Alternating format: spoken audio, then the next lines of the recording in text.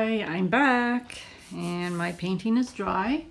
This is the one that um, I did a, I used a strainer to do and then I, um, I didn't like it so I swiped it. And I think I like it better like this.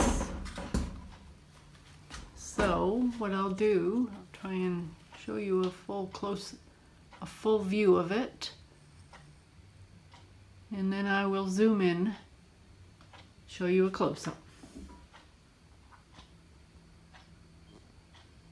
Lots of cool cells.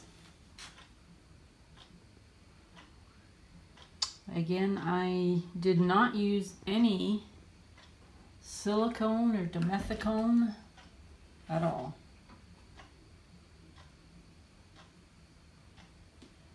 None whatsoever Okay. So I will see you in my next video. Have a great day. See you soon. Bye for now.